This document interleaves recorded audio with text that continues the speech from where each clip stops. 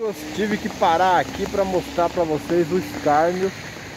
Vejam, ainda tem as marcas aqui da tentativa de golpe no, no último 7 de setembro.